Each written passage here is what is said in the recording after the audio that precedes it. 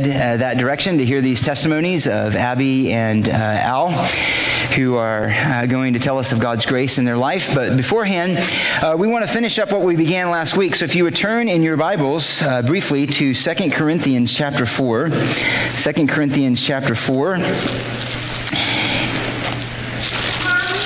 And essentially, in this Second Corinthians chapter 4, Paul is explaining to us what uh, we'll have a living illustration of in the waters of baptism, namely, God's work of revealing Christ to a heart that otherwise is enslaved and encapsulated in darkness.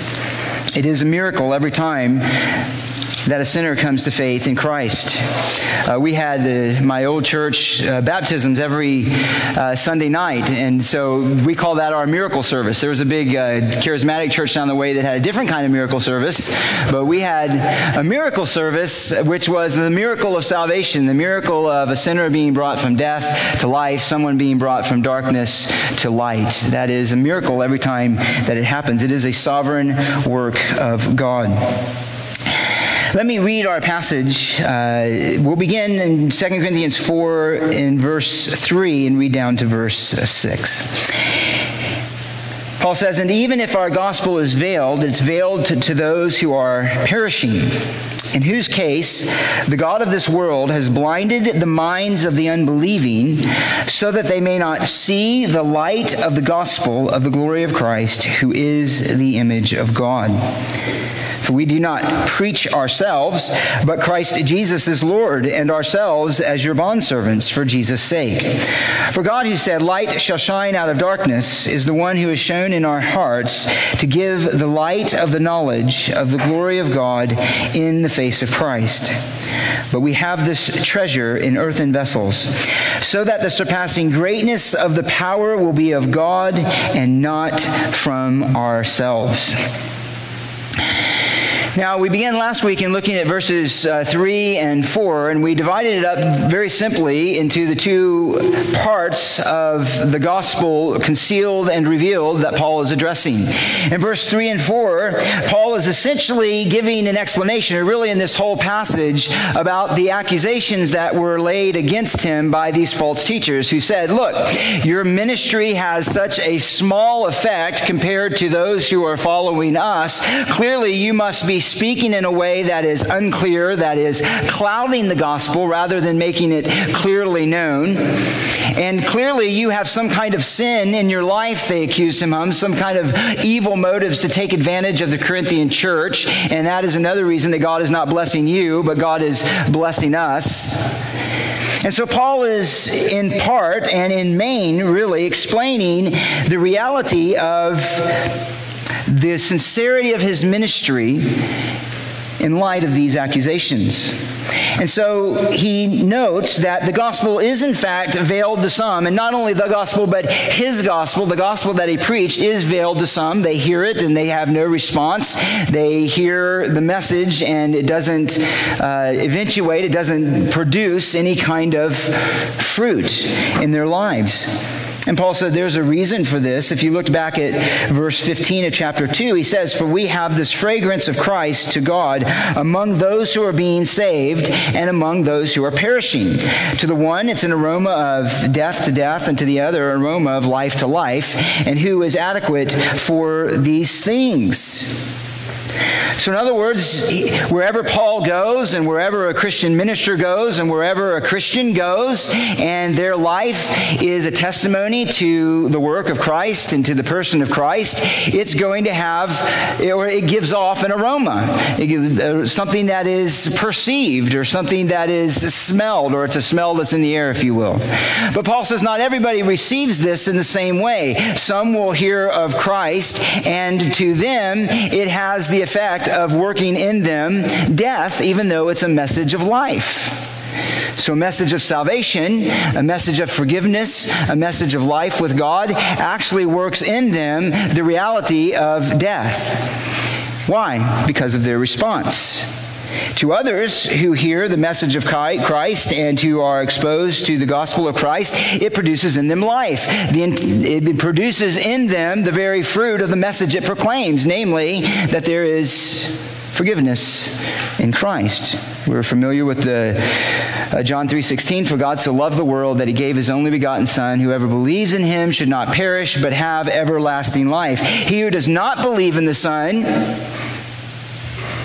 though is what? Do you remember? Yeah, he says, Those who have believed in the Son have life, but those who have not believed in the Son have already been judged. And so, while it is a message of life, it is the message of life that needs to be connected with faith. He goes on, he did say here, this is just a brief reminder that this glory of Christ then is veiled to those who are perishing.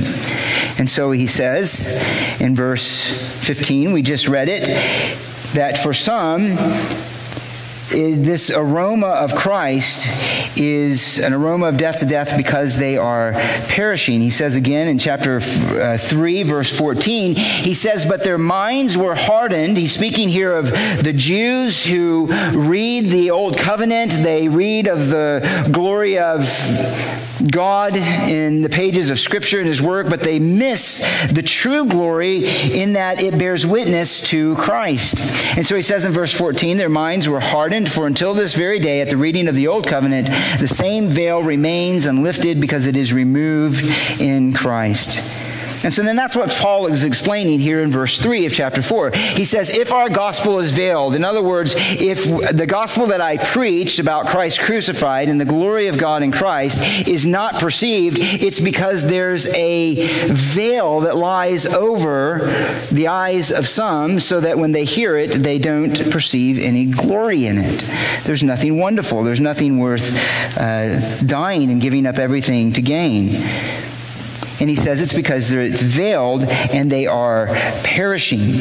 And he says the result or the consequence or the, the cause of this is because not only is it the sin within the sinner, but it is the God of this world, verse 4, who has blinded the minds of the unbelieving so that they may not see the light of the gospel of the glory of Christ.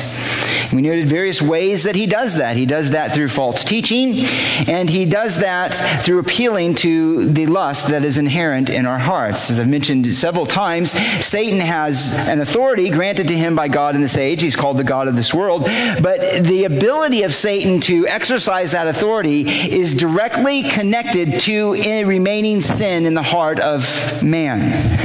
He has no power over us other than the sin that remains in us. This is why Jesus said again in John 14 31 that Satan is coming, or the ruler or the prince of this world is coming. He says, but he has nothing in me. Has no power over me. He has no control over me. He can motivate others to crucify my body and to scourge me and to mock me, but he has no power over me. Why? Because there's no sin in me, there's nothing in me. We, however, cannot say that. And someone is in their natural state, in other words, they've not experienced any work of God to make changes inside of them, then that means that's their total experience is sin. Their total experience is darkness. Their total experience is blinded, blindness.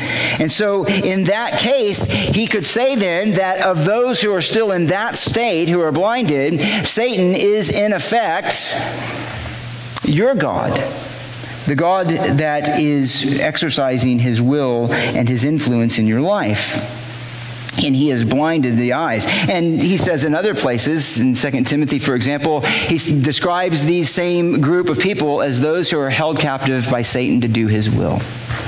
He told the Jews, the religious leaders, You're of your father, the devil. You always want to do the will of your father. He was a liar and a murderer from the beginning, and that's what you want to do, is lie and murder. And so he says that's, that's why some don't hear it. That's why some do not respond as the preacher wants them to and as the Christian wants them to who shares the gospel. And then he says in verse 5, and again, remember he's saying this because he's defending his ministry. He says in verse 5, For we do not preach ourselves, but Christ Jesus is Lord, and ourselves as your bondservants for Jesus' sake. For God, who said, Light shall shine out of darkness, is the one who has shone in our hearts to give the light of the knowledge of the glory of God in the face of Christ. And so this is the second part. So the first part is that for some, the gospel of the glory of Christ is concealed, it's hidden, it's veiled. There's no glory in it to this person. But for others, the gospel of the glory of God in Christ, it is revealed. It is revealed. And so here's the first point under that that the gospel, to whom the glory of God in Christ has been revealed, has this effect it produces the wonder of worship and it produces a soul humility. A soul humility and a wonder producing worship. Look again at verse 5. He says, For we do not preach ourselves, but Christ Jesus as Lord, and ourselves as your slaves. Some of you have bondservants for the sake of Christ. Now, this is the exact opposite then of what the false teachers were doing. Paul's saying, We're not preaching ourselves. That's what these people who are coming in, who are trying to win your affection, are doing. They want you to follow them, they don't want you to follow Christ. The message that they're preaching isn't something something that produces the glory of Christ in the heart, it produces the glory of men and the wonder of men. And again, Jesus said that to the false teachers. You seek glory from one another, and you don't seek glory that is from the only God, the only true God. And that's what these false teachers, they receive glory from one another, and they receive glory from those they tried to win over to their side, but it was not producing the glory of Christ. It was not producing souls captured with the glory of Christ. The message in the ministry of false teachers was not designed to produce wonder at God's grace, humility before the majesty of Christ, but rather to produce followers of them. Let me give you just a few examples or just a couple statements. He says, since many, and this is uh, 2 Corinthians 11, 18, after he already described them as being workers of Satan, these false teachers who had another gospel, he says this in verse 18. Here's how he describes it. Since many boast according to the flesh, in other words, in human ability, in human skill, ultimately by human motives. He said, I will boast also. For you being so wise, tolerate the foolish gladly. For you tolerate it if anyone enslaves you. That's what they were doing. If anyone devours you, they were taking advantage of them and manipulating them and using them again for their own purposes. If anyone takes advantage of you and anyone exalts himself, and if anyone hits you in your face, to my shame, I must say that we have been weak by comparison. But in whatever respects anyone else is bold, I speak in foolishness. I am just as bold myself. And he goes on to describe not his human strength and his human ability, but his human suffering for the gospel.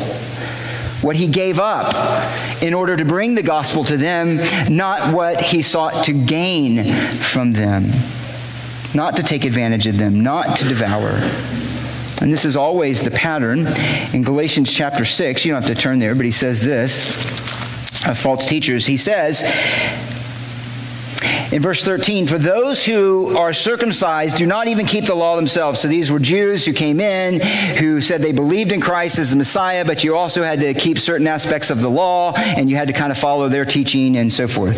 And he says, these desire, and at the end of verse 13, to have you circumcised so that they may boast in your flesh. In other words, look at all of our converts. Look at the people following us. Look at the influence that we have. But Paul says, But may it never be that I would boast except in the cross of our Lord Jesus Christ, through which the world has been crucified to me and I to the world. So, this is then the heart of a true preacher, of a true servant of God. It is that Christ would be exalted and not self. And he says this is the very heartbeat and lifeblood of his ministry. And when Christ has been preached this way, which is where he's going with this, then it has a necessary response of worship. And it has a necessary response of obedience. What was the message then that he preached? It was the message that will be given testimony to in these baptism waters. It's the message that was believed and that is being declared and proclaimed. He said, We do not preach ourselves, but Christ Jesus as Lord. Christ Jesus as Lord. This is the worship producing wonder. Christ Jesus as Lord. It is then to preach the entire wonder of the person and the work of Christ. We sing during Christmas uh, a song. See if you can guess where it's from. Uh, the last verse of it, of this one song, on one of the verses, says this. I won't try to sing it. Uh, it would not encourage you. Uh, but he says, uh, "Jesus is Lord at thy birth." Do you remember that? Jesus, Lord. I did it. Jesus, Lord at thy birth. Okay, that wasn't so bad. But we sing this song, Jesus is Lord at that, that birth, at his birth. As a matter of fact, the whole song goes like this. Uh, I almost want to sing it together here because it's like Christmas. Uh, you can go, you go, silent night, holy night, Son of God, love's pure light, radiant beams from thy holy face, with the dawn of redeeming grace. Jesus,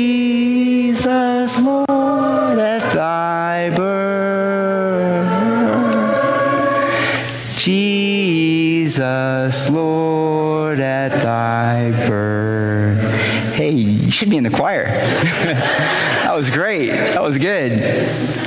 You ever think about what's being said there? This is the message that Paul preached. Jesus is Lord at thy birth. That means while his lordship was something to be manifested out of the course of his life and out of the course of his work, the inherent glory of his being was present as the Son of God in flesh while a baby in the manger, is what we sing in the song.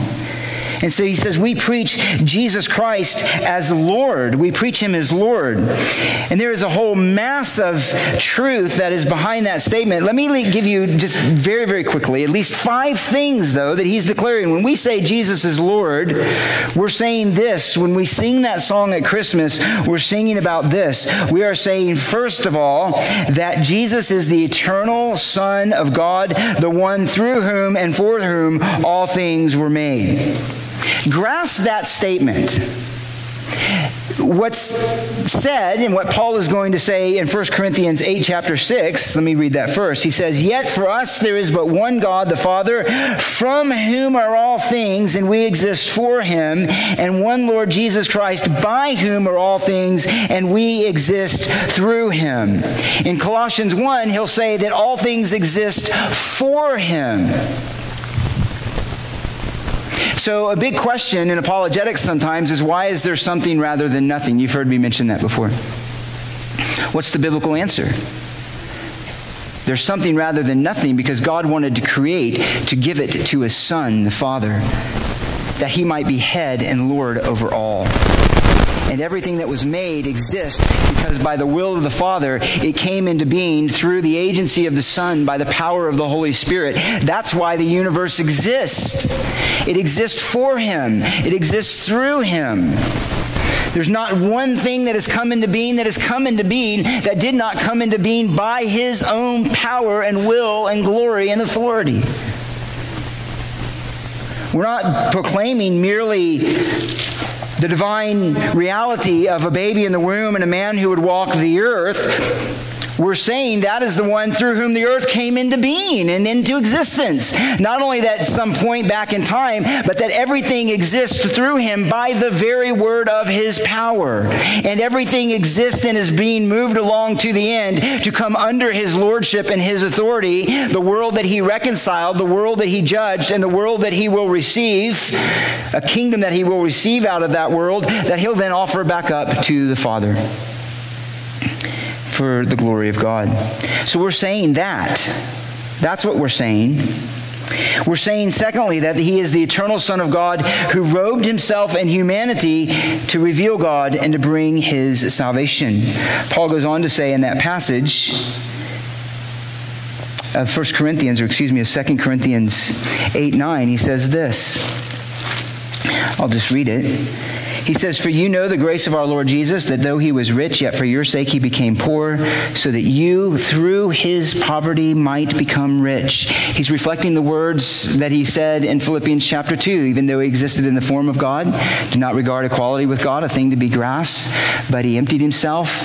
He emptied himself of the full experience and display of his glory to cover it for a time within the confines of humanity, that he might live as a man in the form form of man and become obedient to the point of death, even death on a cross. Why? So that we, in the accomplishment of his work, might partake of his inheritance.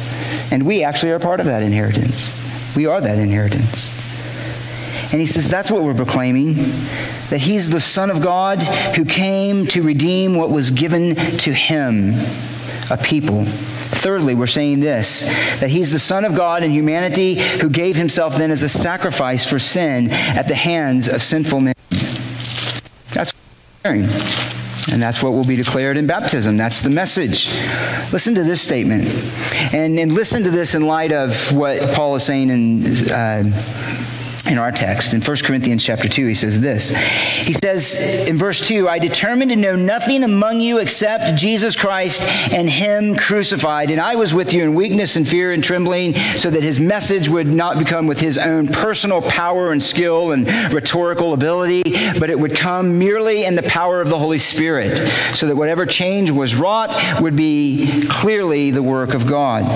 So he came with a message of jesus christ crucified and all that that meant. And then he says this in verse verse 8. But it's a wisdom that he spoke in Christ crucified that was missed by this age and is the veil. He says, but it's a wisdom in verse 7 which God predestined before the ages to, interestingly, to our glory the wisdom which none of the rulers of this age has understood. For if they had understood it, they would not have crucified the Lord of glory. So who was crucified? The Lord of glory, the glorious Lord, the majestic one through whom all things came into being.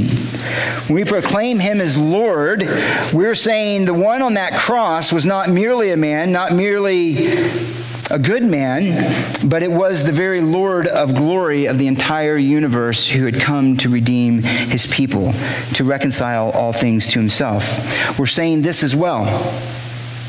We're saying that he is the eternal Son of God in flesh, crucified, buried, risen, Lord of heaven and earth, and who is right now having all things subjected under his feet as head and ruler.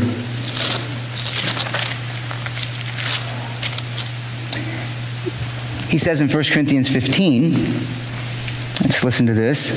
He says, But now, you want a worldview? You want a biblical worldview? Like, how do I frame the events of this world? How do I think about this world? How do I think my own life in, in my own position, in my own place in this world? Well, here's, here's one. He says, But now Christ has been raised in verse 20 of 1 Corinthians 15, raised from the dead, the first fruits of those who are asleep. For since by a man came death, by a man came the resurrection of the dead. For as in Adam all die, so also in Christ all will be made alive, but each in his own order. Christ the first fruits. After that, those who are Christ at his coming. This is the resurrection at his return to take his people. And then comes the end when he hands over the kingdom of God, the Father, and Father, hands over the kingdom to the God and Father when he has abolished all rule and authority and power. For he must reign until he has put all his enemies under his feet. The last enemy that will be abolished is death. And verse 27, for he has put all things in subjection under his feet. Who?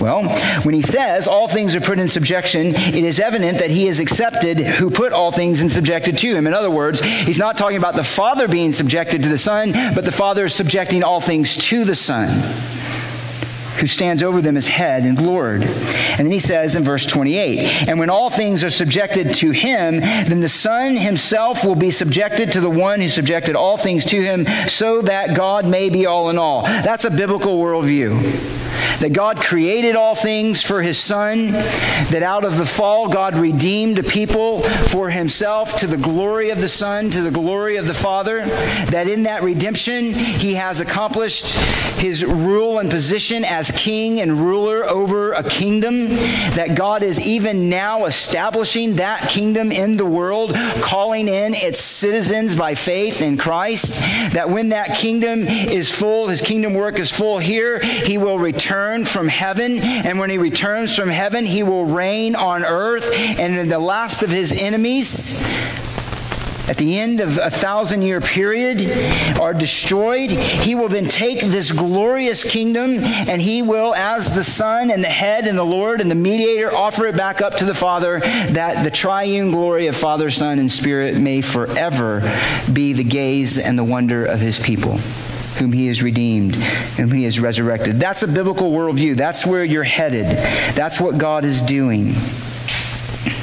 Proclaiming one last thing that the eternal Son of God, exalted to the right hand, then, is also a king who is returning to bring salvation and to establish his kingdom on earth. In verse of chapter of 1 Corinthians 11, don't, don't turn to these, I'll just read it.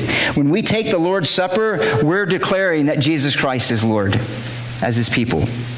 Did you think of that? When you take the Lord's Supper, we are declaring that we are the body of Christ. We are the fruit of his redeeming work. We are a people who are yielded to him in submitted faith and trust and love. We are a people who are anticipating his return and his establishment of his kingdom. Listen to what Paul says. We say this every week that we do communion. As often as you eat this bread and drink the cup, you proclaim the Lord's death until he comes until he comes. We're saying that crucified Lord is the resurrected Lord, and that resurrected Lord is the returning Lord, and he will establish his kingdom. Now, to understand this message, then, that Christ is Lord, this true message of the gospel, is to have an indelibly humbling impact on the soul. It couldn't be otherwise to come to truly know, not merely intellectually, but to know in the way that Jeremiah was talking about, everyone will know the Lord. It doesn't mean they'll know about the Lord, it means they'll know the Lord from the heart in true faith. And so to come to truly know the Lord and to grasp one so glorious, who is so far above us, so superior to us in majesty and glory, and yet so full of mercy and love to sinners such as us, could have no other effect than to move to worship and, secondly, to soul humbling service. So look at what Paul says. This is actually quite amazing. Quite amazing, and, and I'm going to get to these points pretty quick. But let's look at what he says.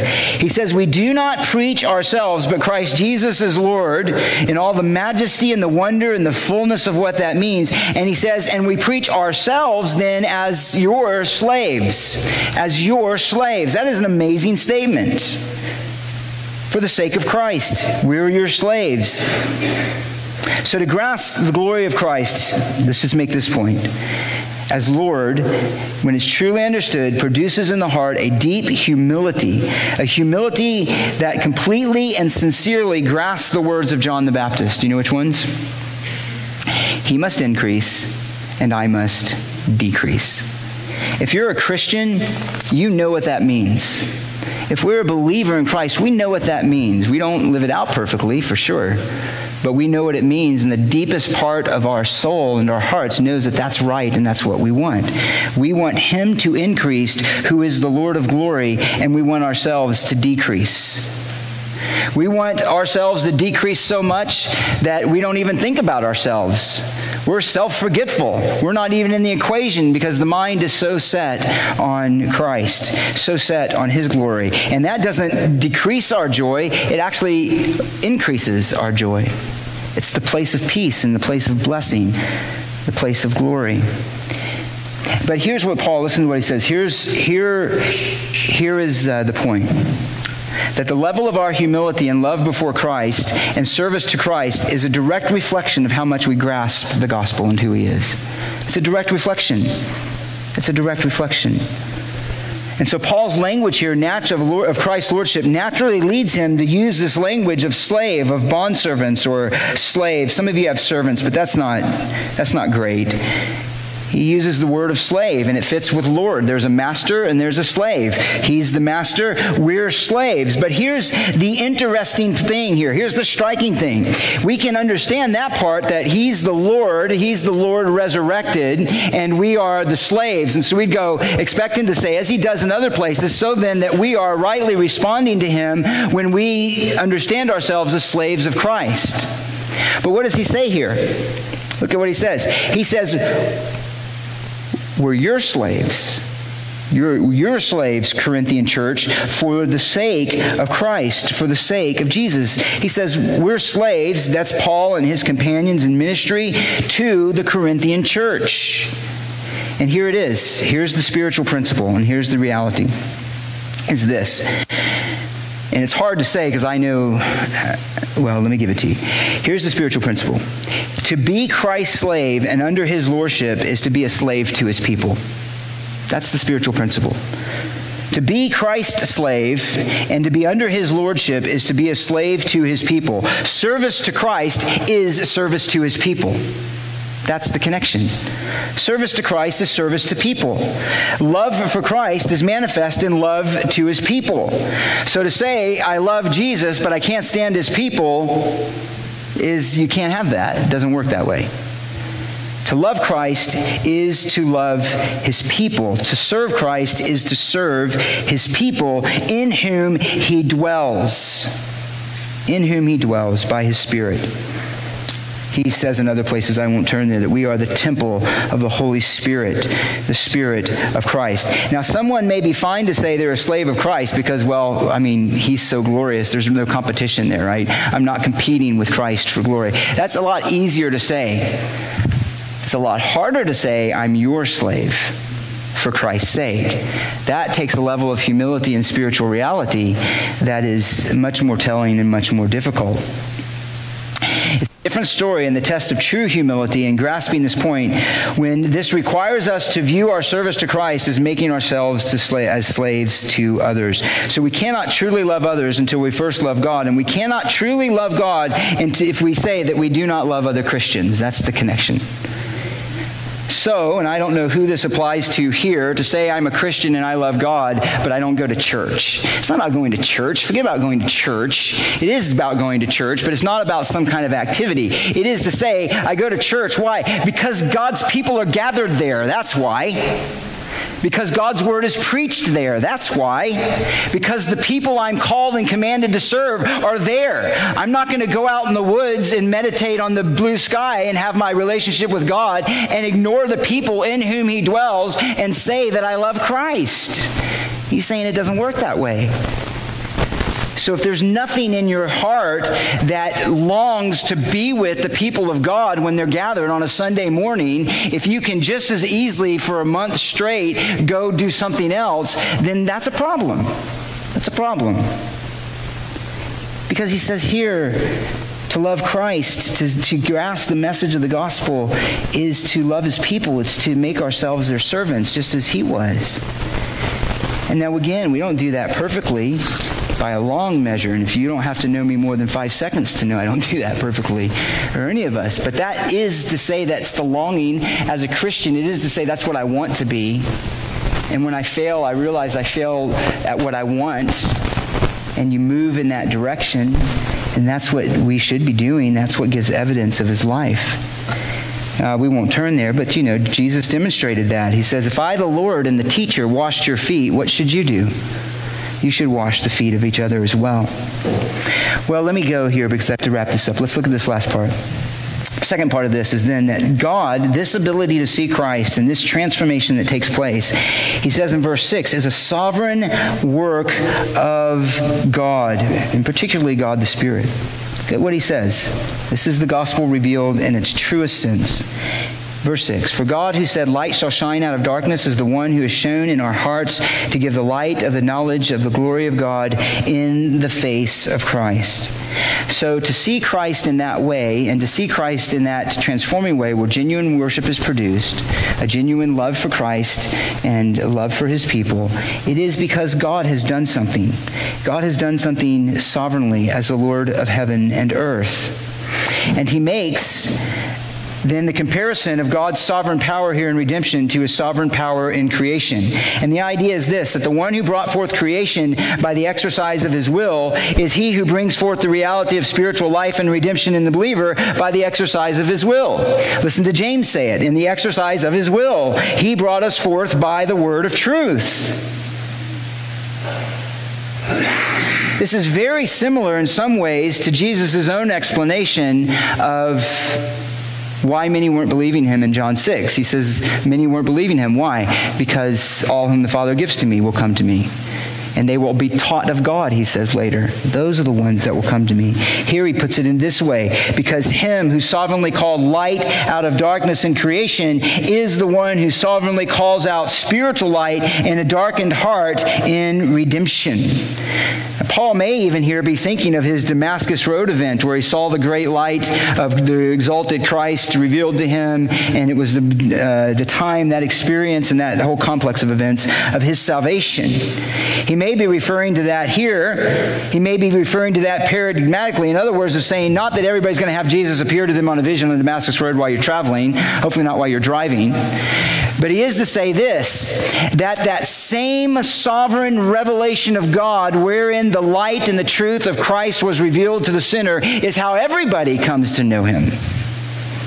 Not in the same way, of course, but in that same sovereign exercise of his will. That's how a sinner comes to know him. This is the work of the Spirit. And what happens then when he reveals this light, the light that shines out of darkness? What happens in the sinner? Well, there's a few things that happen. One is this when God shines the light of the knowledge of the glory of God in the face or in the heart of a sinner, uh, of one who is still in their natural state that he's calling to faith in Christ. One of the first things that we become aware of is our own sin, our own need to be in the light to be brought out of darkness is to be brought from darkness to light. So seeing God's glory in Christ includes seeing your sin in the light of his glory. It includes seeing our condemnation in light of his redemption, his righteousness in light of our unrighteousness, his strength in light of our weakness, his beauty in light of our deformity, his purity in light of our corruption of mind, heart, and affections. And it is to say, this is what I want that I am so abysmally in need of what is being extended to me in the gospel. That's why he'll later say, We have this treasure in earthen vessels. Look, when I see the light of Christ, I'm no longer a proud, exalted vessel. I'm an earthen vessel who's nothing. The treasure is all in Christ. He'll say it in various ways. And other, at other times, he'll say, I'm the chief of sinners. And God showed mercy to me so that every sinner, no matter how deep and wide and far and consistent your sin has been, you can know that God's mercy can extend to you as well. Why? Because it extended to me. 1 Timothy 1. It is for Paul to come to realize in this that he who was so proud of his own obedience, who was so proud of his own goodness, who was so proud of his own religious attainments, all of a sudden, when he came face to face with Christ, realized that it was dung, it was nothing, it was meaningless, it was less than meaningless. In fact, everything he thought was to his account was actually a great burden that would have accounted for his condemnation. And so to see the light is to see ourselves as we truly are and to see God as He truly is. And it is to see that God's glory is in the face of Christ, and it's the knowledge of that glory. The knowledge of that glory. Yes, there is an objective knowledge because it is the gospel he preached. The gospel is a body of truth. It is truths declared about a person. It's not ideas, it's reality of Christ who came and was promised and came and lived and died and rose and is returning. But he says it's when that truth is grasped in the heart it's the light that has shone the knowledge of the glory of God. You'll hear that in every testimony. I hope many of you know that in your own life. But in your baptism, that's what you're going to hear. Is there was a time when there was no glory. I thought I was a Christian. And then there was glory. And then there was Christ. And I would have given everything to follow him. Everything. Nothing was as precious as Christ was and as Christ is. So how do what is the evidence of this? And I'm just going to mention these and then we're going to wrap up and sing and, and hear our testimonies. He says this he, he says he's given the light of the knowledge of the glory of God in the face of Christ. And, and let me just say, that is the gospel. How do you know if you believe the gospel? It isn't whether you can spout off facts, of course. It isn't even what you do. It isn't even a moral life. It isn't even a moral life with memorizing systematic theology. It isn't even a moral life memorizing systematic theology and telling everybody of what you know about it. That's not the evidence of the gospel. Those are all good and can be a part. If you want to know how, do I know Christ? Do I know him? Here's what you ask yourself Do I see within my heart a glory of God in Christ as Redeemer, as Creator, as Lord, that pulls out of me faith? And repentance and obedience and trust. Not perfectly, but I can say at the deepest part of my being, that's what I want to do. And when I fail to do that, I feel my failure because I love Him. And my love compels me to serve Him. And my lack of love to Him humbles me and realizes that I live every moment and second by grace. And that grace then causes thankfulness and a desire to keep pursuing Him that's the idea. That's how you know if you're a Christian, if you love Christ. It's not a list of, I mean, yeah, there are truths that have to be believed, definitely. If anyone strays too far, John warns, uh, they're not in Christ. But it is to say that those truths put, produce in us a love for Him, a love for Him. Well, we won't have time to go through all these, but I do want to mention this. How do we, how do we give evidence then of this? And how do we grow in this? Well, the first and foremost is this the first and foremost is this it means this. If we've tasted of the glory of Christ and we've tasted of his glory, it means we want to see more of it. And where do we see his glory? Peter said this, if you remember when we went through 1 Peter, he says, we love him whom we have not seen. Do you remember that in verse 8? Though how you have not seen him, you love him. You love him. Have you ever seen Christ? I hope you say no. You know, anyway, you know what I mean by that. I haven't. I haven't. He's never. He's not shown up in my bathroom or you know at the end of my bed one night. You know in glory. Where do you see Christ? You see him in His Word. That's where the glory of Christ is revealed. And so what is it? What is it? And Paul has already said that. Look at go back up to chapter three. He says their minds were hardened. What? As they read the old covenant, as they read scripture, they never moved on to understand the new covenant promise and how it's fulfilled in Christ. And he says this, but when the person turns to the Lord, the veil is taken away. Now, the Lord is the Spirit, verse 17, and where the Spirit of the Lord is, there's liberty, there's the freedom, the spiritual freedom, no longer under the confines of the law, but the freedom to serve God in truth and in grace and in joy. He says there's liberty, and we all, look at verse 18, with unveiled face, beholding as in a mirror the glory of the Lord, are being transformed from the same, into the same image from glory to glory, just as from the Lord the Spirit. And that Lord the Spirit is most clearly understood as this. What is he? Is this? Is that the Lord who is now experienced as the Spirit in us. Christ says, If I go, I won't leave you at orphans. I will come to you.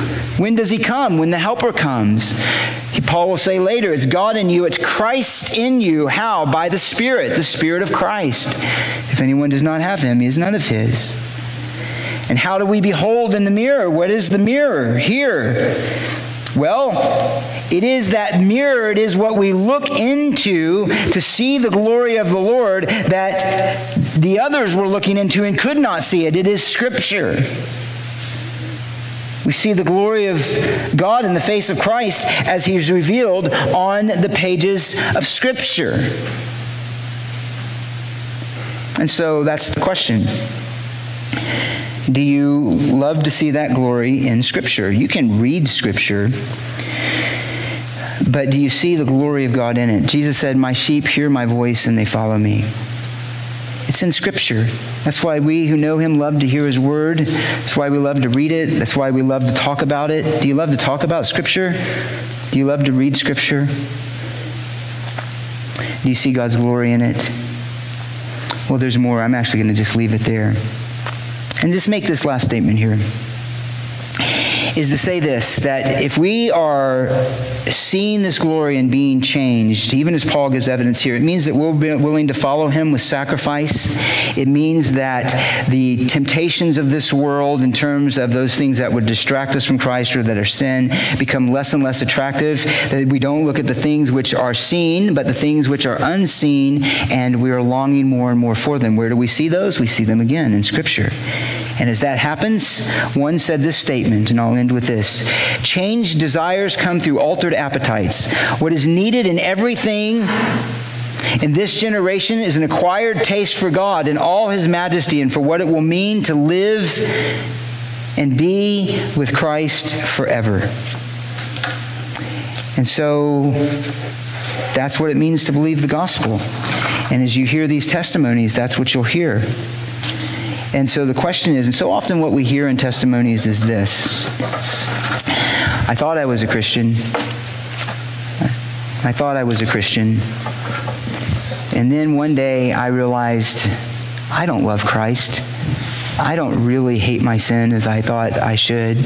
And then I, but I wanted to. And so then there was this change that came back. And now I want to read his word. Now I want to pray. Now I want to serve. That's what Paul's talking about. And so, those of us who have experienced that grace of God, we rejoice like the angels when we hear that. Some of you are going to hear these words and be a total stranger. They're going to be strange to you. Why? Because a veil lies over your face and your heart. You're going to hear it and you're going to leave, and your life is going to be totally like it was before. And so I hope for those who are in that case that you hear and you follow the instructions. Whenever one turns to the Lord, that veil is removed that if you don't experience that in your life, that's not the truth, that you would turn to the Lord, that you would ask Him to say, I beg you to give that to me because I can't do it on my own. On my own, I'm darkness, but in Christ, I can have light. Show me this light. And that you would have your own testimony one day, either here or somewhere else. Let me pray. And then as I pray, they're going to come and sing a song, and then we're going to hear our testimonies. Father, thank you for your word. Give us the sight of Christ. Oh, I need it. We need it.